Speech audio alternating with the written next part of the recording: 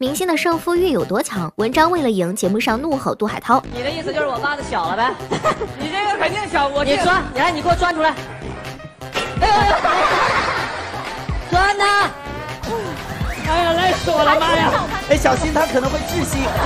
杨超越和郭颖互怼太好笑了，这不想赢吗？我没有给他夹那个假睫毛，对，然后也没有烫。但其实如果加上他那些步骤的话，咱们的效果是差不多的。可是我这个会方便一点，对普通女生来说，这是方便又快捷又实用的方法。普通女生说我们都种睫毛，但是我跟你说种睫毛很容易睫毛会一起掉哦。现在有技术很好的，来来，静静，请出发，勇敢大胆的做出你的选择。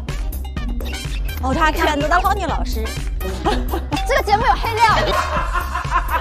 左儿为了赢，把自己骨头掰折。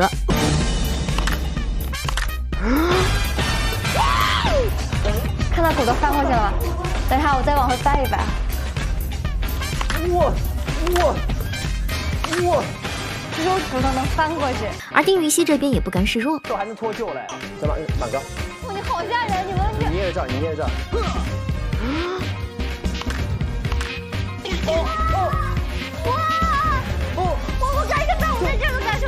王一博为了赢不惜吃掉地上的面包，这也太拼了！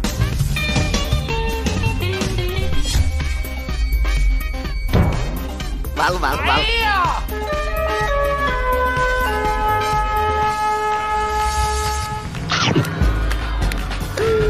我的天哪！我哇！现在的孩子太拼了！我王俊凯对周杰伦放狠话：电子竞技没有偶像。虽然杰伦哥是我的偶像，我很喜欢他，但是电子竞技呢，就是没有偶像。张继科不愧是运动员，胜负欲太强了。石头布。哦哦！天哪，很像喝完一杯再满上继续的感觉。刚才。剪刀石头布，剪刀石头布。我就喜欢这种不怜香惜玉的男人。张继科真的没在管的。张继科，我的字典里没有怜香惜玉。看完的小伙伴记得点赞关注，下次不迷路。